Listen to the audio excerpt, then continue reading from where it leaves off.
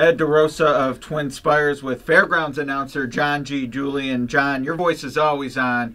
What do you do though for a big event? Is there anything in your head you kind of turn to 11 when it's the big day? you always look forward to big days like this. I mean, 108th running of the TwinSpires.com Million Dollar Louisiana Derby, uh, 14 races. I think from the get go, it's just excitement uh, galore, and uh, look forward to calling the entire card. Uh, will you uh, will muscle memory kick in with Brad Cox's name? You think today?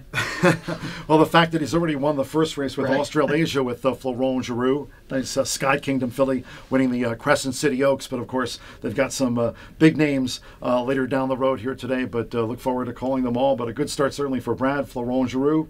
Nice uh, state-bred, Louisiana-bred uh, filly there by uh, Australasia by Sky Kingdom. So we'll see what she does. But at least she's four for four to start off the card. Very nice indeed. And uh, you're familiar with uh, the big favorites in both the Oaks and the Derby. You've called them in the prep races for this. You're familiar with them. Got some shippers. What do you make of the big races? Yeah, I mean, Clariere, the ri- rivalry renewed. I Yeah. mean, from under the Twin Spires with Travel Column, they're back at it. Uh, Clariere, she looked, of course, really sharp uh, winning the Rachel Alexandra Stakes here uh, at the fairgrounds. But then you include likes of like Zagel.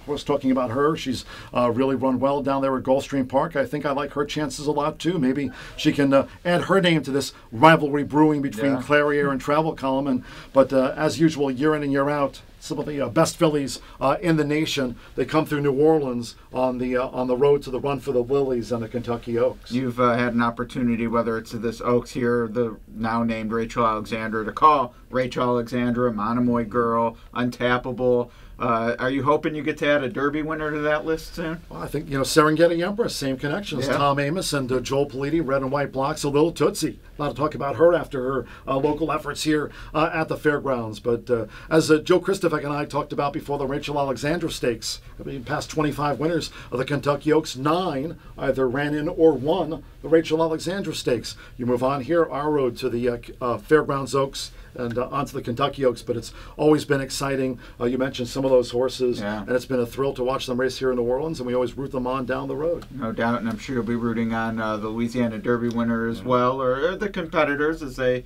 uh, first or second should punch their ticket. Yeah, I mean, you consider Mandaloun, I mean, winner of the uh, Risen Star Stakes, of course, uh, Midnight Bourbon back after winning the Lecomte Stakes here. Florent Geroux, two-time winner of the Louisiana Derby. I mean, Gun Runner, of course, went on to, uh, you know, have a uh, Horse of the Year campaign one year later, you know, as a four-year-old. But uh, Florent Geroux, two-time winner of the Louisiana Derby. He also won with Wells Bayou last year.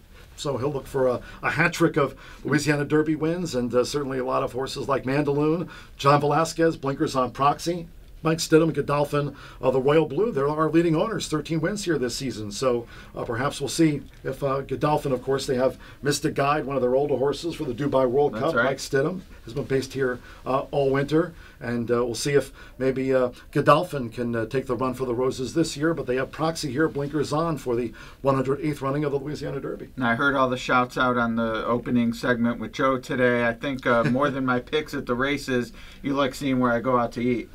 Uh, R R and O's, of course, great po' boys and uh, Brightsen's. You, you certainly know. classic, you certainly know where to wine and dine. Classic New Orleans dining for uh, Ed DeRosa when he comes to town. Make the most of it here at Fairgrounds, and always a pleasure hearing your voice, whether I'm here or watching on Twin Spires. Appreciate the time, John. Ed, Ed, Ed goes to Brightsen's and R and O's or Dragos for charcoal noises. I get the chili dog downstairs.